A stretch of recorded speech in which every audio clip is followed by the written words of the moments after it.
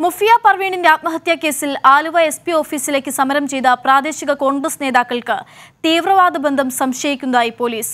സമരവുമായി ബന്ധപ്പെട്ട് അറസ്റ്റിലായ പ്രതികളെ കസ്റ്റഡിയിൽ ആവശ്യപ്പെട്ട് കോടതിയിൽ നൽകിയ റിപ്പോർട്ടിലാണ് പോലീസിന്റെ ഗുരുതരമായ ആരോപണം.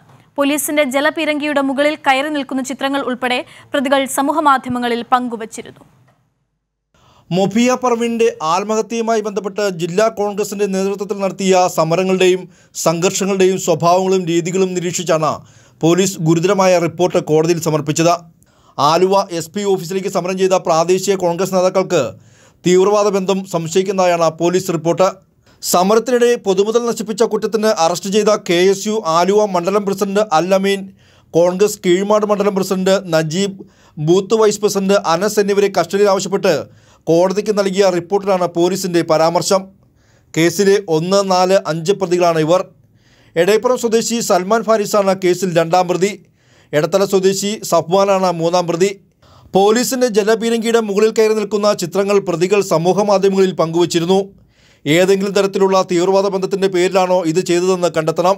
ഇവരെ ജാമ്യത്തിൽ വിട്ടാൽ കലാപങ്ങൾക്ക് നേതൃത്വം കൊടുക്കാൻ സാധ്യതയുണ്ടെന്നും റിപ്പോർട്ടിൽ ആരോപിക്കുന്നു. സമരത്തിനിടെ ഡി ഐ ജിയുടെ കാർ കോൺഗ്രസ് പ്രവർത്തകർ തടഞ്ഞ് നാശനഷ്ടം വരുത്തിയിരുന്നു. ജലപീരങ്കിയുടെ മുകളിൽ കയറി കൊടി നാട്ടുകയും ചെയ്തിരുന്നു. കേസിൽ പൊതുമുതൽ നശിപ്പിച്ചടക്കം പന്ത്രണ്ട് പേർക്കെതിരാണ് കുറ്റം ചുമത്തി കേസെടുത്തിട്ടുള്ളത്. കൈരളി ന്യൂസ് കൊച്ചി.